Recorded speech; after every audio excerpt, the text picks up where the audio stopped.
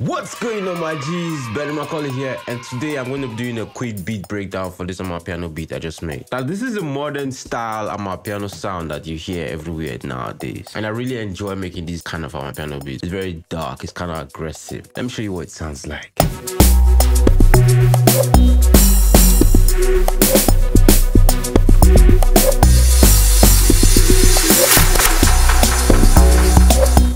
Doing Amapiano, right, I like to start with the drums because you want to have a very nice groove going first. The version that I'm using here is this very soft kick, right? Yeah. You can already get the idea of what the groove is going to be like, right? You just... and then I added these percussions here. Right.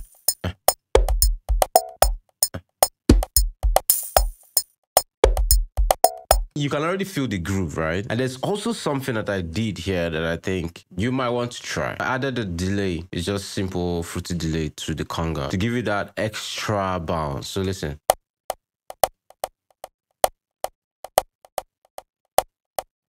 Yeah, it's actually quite mad. It's actually a trick that a lot of these Amapiano guys use a lot. And it's very nice. See? Eh. it's actually quite bad. And to finish up my drums, I added this uh, snare and a bit of hi-hat.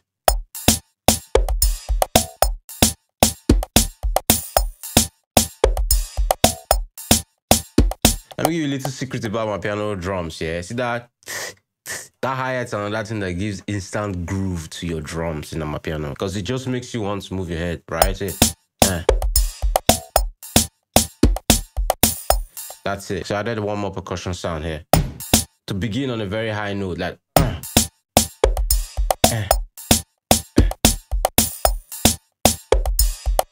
It will come again. Right. And then obviously you need your shakers, right?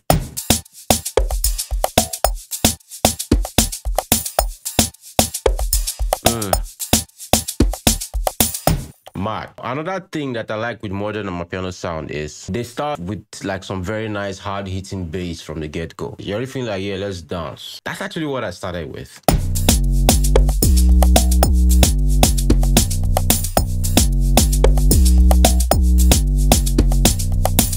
Yeah, another thing again with modern piano beats is you need to have very nice atmospheric pads, right?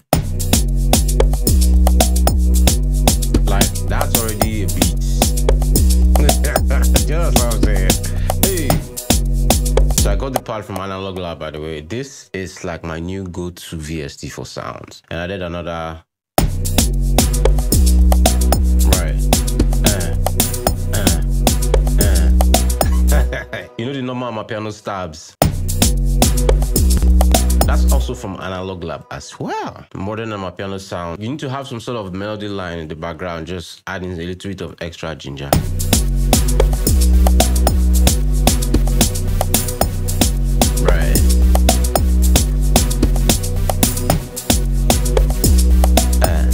Added on that part again. If you notice when you listen to all this beat, you hear that pads keep coming in every maybe like every four four bars. Just to keep changing the picture and giving it more ginger as you go. Something like this.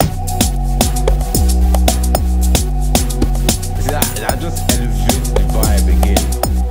Obviously, you need the best riser in Amapiano right now. and then I added this FX clap in the beginning.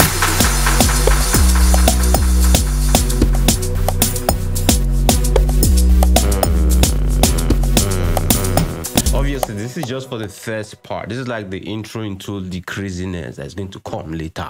Now for the log drum section right before i added the log drum i added this sound that i stole from one of my piano beats that i mixed and mastered a long time ago. I renamed it ghost cave.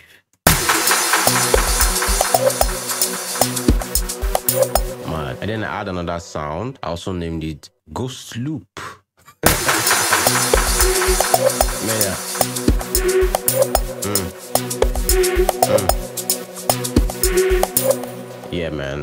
Piano, man. And before I added the log drums, I added another part just to differentiate the log drum section a little bit. Yeah, yeah. Just. Hey, hold on.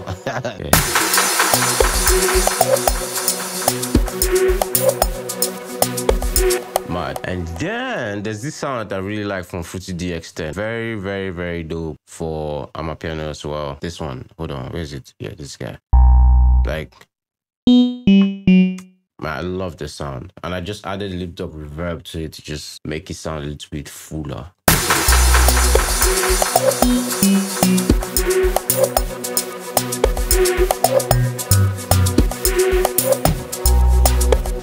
That's actually very, very nice. That sound gives this beat extra groove. Do you get? And then I add my log drums. One thing that you need to have in mind when you're making log drums for modern amapiano is movement. It has to move. The log drum has to feel like um, there's some war about to happen. Do you understand? Like, see,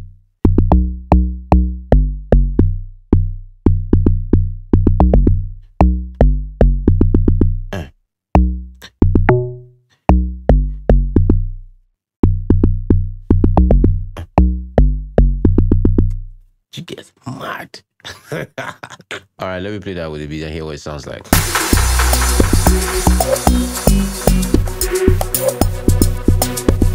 Mad. And then you should layer your log drum with a sub bass so it can be very thick, like this.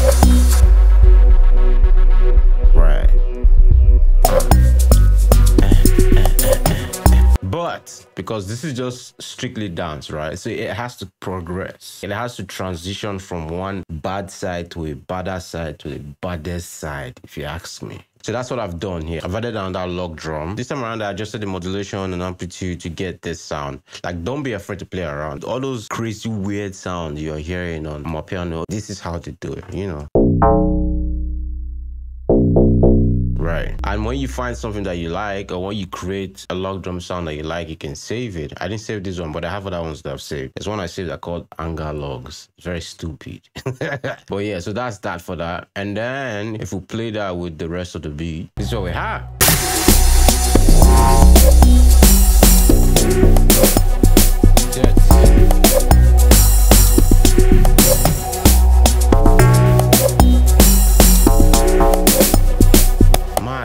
Oh, there's one other thing I added. It's another part again. Um, you have to add a lot of parts because there's not so much going on exactly. Just vibes and heavy log drum. But all these parts that you add on that will just keep changing the sound a little bit and just make it sound dope.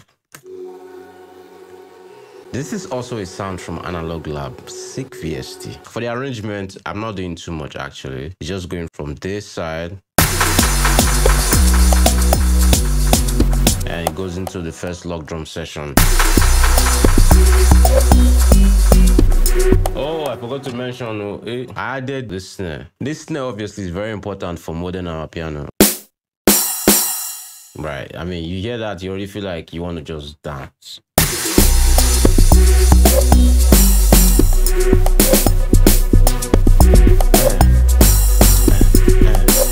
right.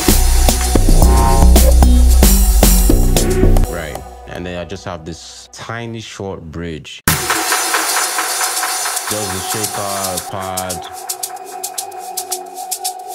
And this other sound down here.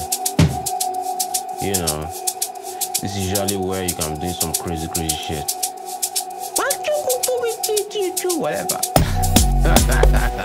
you get what I'm saying. So that's it. This is just a quick beat breakdown. I hope you learned something from this and I hope you can pick one or two ideas from here for your next Amapiano beat. All right. Yeah, let's listen to the whole beat and hear what it sounds like. Hmm.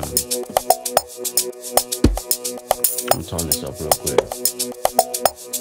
Yo.